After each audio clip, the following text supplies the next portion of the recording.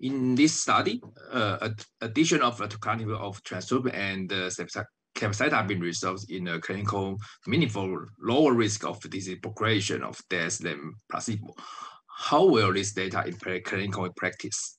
So if you are talking about patient without um, specific issues with CNS disease, then I would say that the this triplet combination, trastuzumab, tucatinib, and capecitabine is one of several third line options.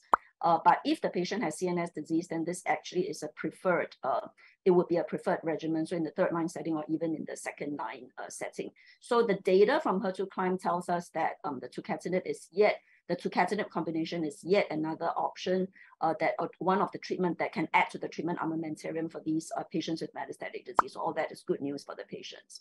Okay, when tucatinib combined with the trastuzumab and the capecitabine, is the safety concern?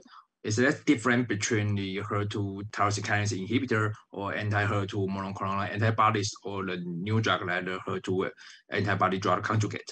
Yeah, so probably what is what noteworthy about the toxicity profile um, that we see from the tucatinib data is that compared to other HER2 small molecule HER2 TKIs, the safety profile is actually pretty favorable.